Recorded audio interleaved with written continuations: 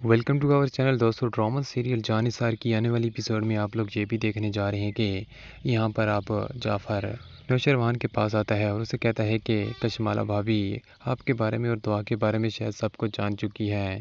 وہ مجھ سے اب پوچھ تاچھ کر رہی تھی۔ یہ بات جیسے ہی یہاں پر نوشروان سنتا ہے تو وہ جعفر سے کہتا ہے کہ، پھر تم نے کیا کہا؟ یہاں پر جعفر کہتا ہے کہ، میں نے اسے کچھ نہیں بتایا، لیکن وہ دعا کا نام جانتی ہے۔ وہ دعا کا ذکر بار بار کر رہی تھی کہ، اگر کون ہے یہ لڑکی؟ وہ نشروان آخر اس کے پیچھے کیوں ہے؟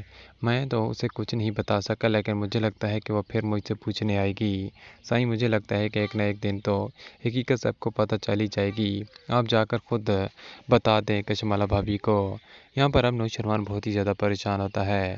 اگلی سین میں آپ دیکھیں گے کہ دوسری جانب فراز کی بہن، فراز سے کہتی ہے کہ بھائی مجھے لگتا ہے کہ آپ کسی ٹینشن میں ہیں۔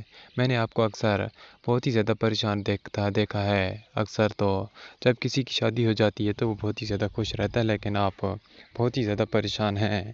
بھابھی کا تو اس میں کوئی بھی قصور نہیں ہے۔ آپ کیوں اس سے اتنے خفا ہیں؟